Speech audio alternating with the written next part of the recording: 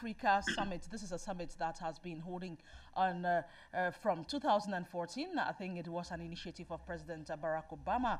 Uh, 2014, you, uh, African heads of state have been uh, meeting with officials of the United States to discuss trade and other issues. So when you take a look at this partnership between the United States and Africa, uh, from uh, 2014 to now. How, what is your appreciation of this uh, partnership? It gets a C grade.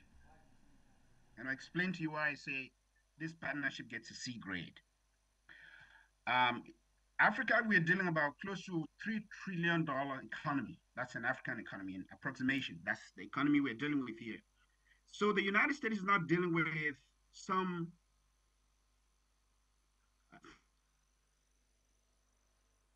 from an economic perspective, they are not dealing with some wiggling, power in quote. Africa has everything that it takes from a partnership perspective for the United States to benefit.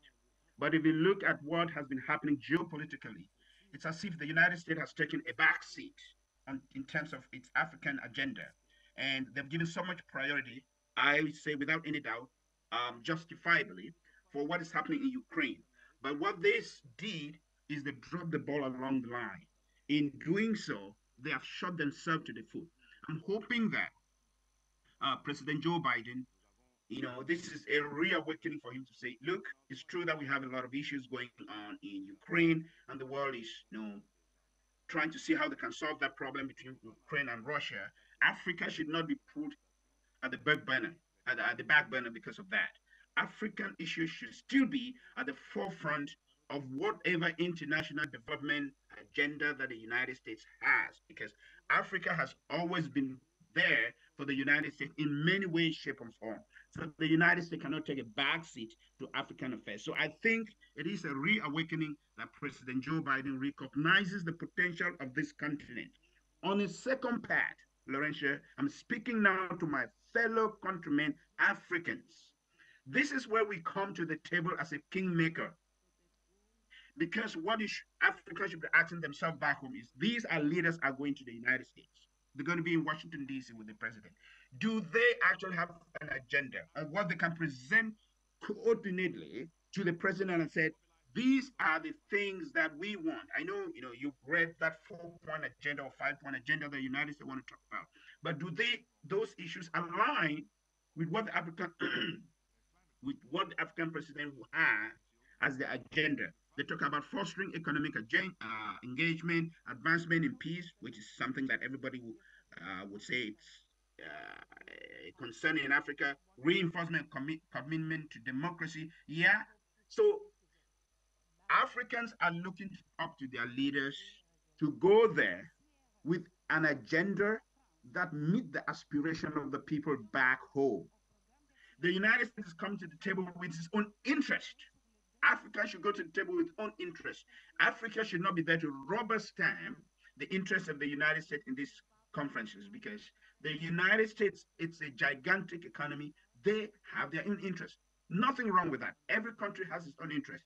So as you're going to the table, African leaders should have as a plan, a coordinated plan, since it's a coordinated plan, uh, summit because so far I've been looking for communiques on this summit, see if some of them are going to be having a one-on-one bilateral meeting with uh, President Joe Biden. I haven't come across one.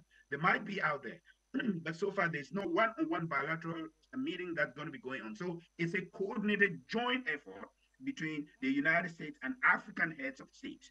What is the platform on which African heads of states are going in for? A has security as it's concerned. B has economic issues.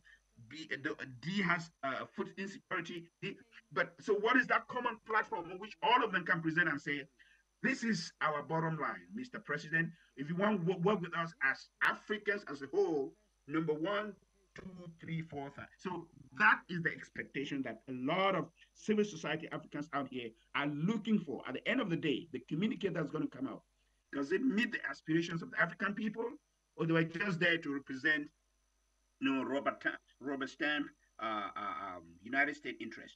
Not only that, as I said before, geopolitically, things have changed since the last time that they came to Washington, D.C.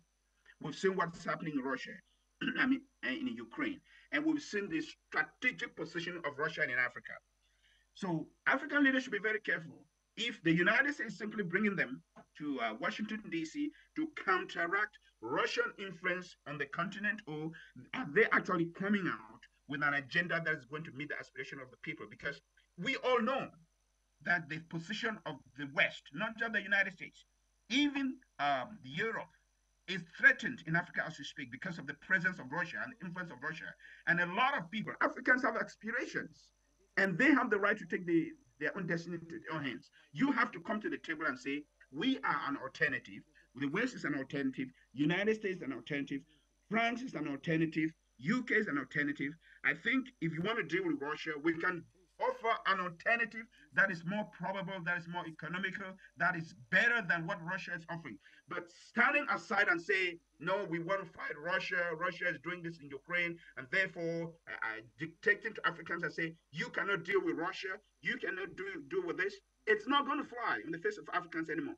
Come to the table with what you think you have, come to the table what you think you can offer as an alternative to the African issues, and then Africans will negotiate with you, discuss with you.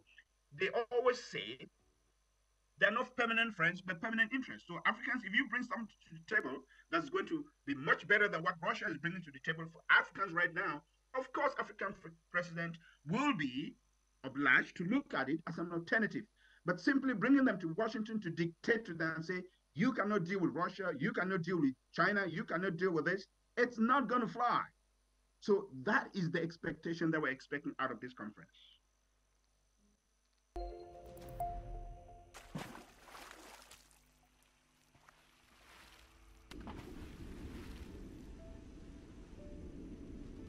Afrique Média. Le monde, c'est nous.